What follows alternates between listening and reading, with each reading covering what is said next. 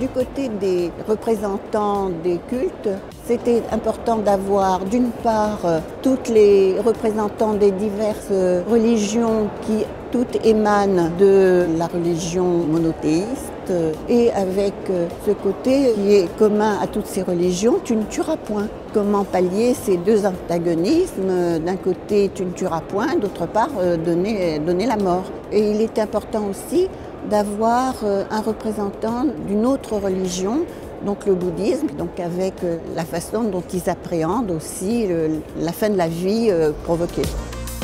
D'autre part, euh, ce qui était important, c'est surtout d'avoir eu les témoignages de toutes les personnes impliquées dans la fin de vie.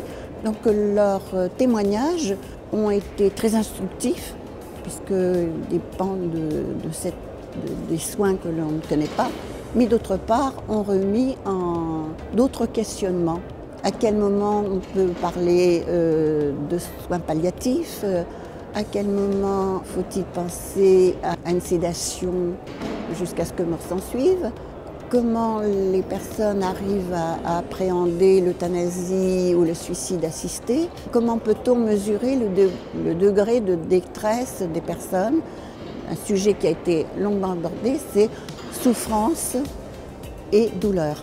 Et qui sont, si effectivement il y a maintenant beaucoup de choses qui parlent à la douleur, mais euh, la souffrance, qu'elle soit euh, physique ou euh, corporelle, c'est très compliqué à gérer.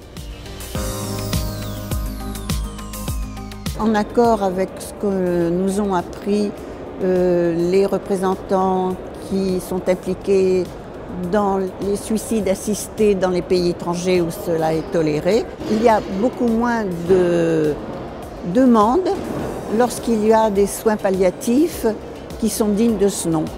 Et ce qui manque cruellement, c'est effectivement en France, c'est le développement des soins palliatifs partout, accessibles à la majorité des personnes, et d'autre part, la formation qui est absolue, presque quasiment inexistante sur tous les personnels qui interviennent dans les soins palliatifs, que ce soit au niveau médecin, infirmière, aidant.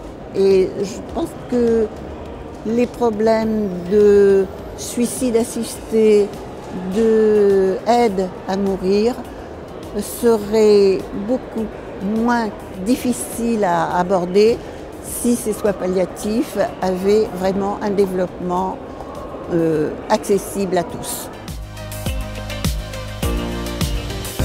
Même s'il y a une divergence d'opinion que l'on voit lors des tables rondes qui sont très ouvertes, ce n'est jamais agressif, c'est toujours euh, un débat d'idées et qui reste très consensuel, malgré les oppositions.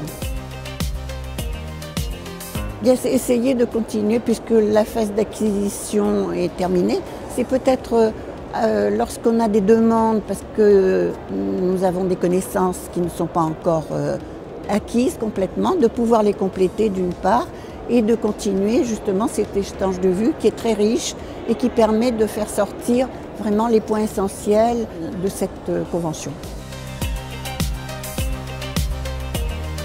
Moi je crois que c'est consensualité et désir de faire avancer la connaissance de la loi et des soins palliatifs.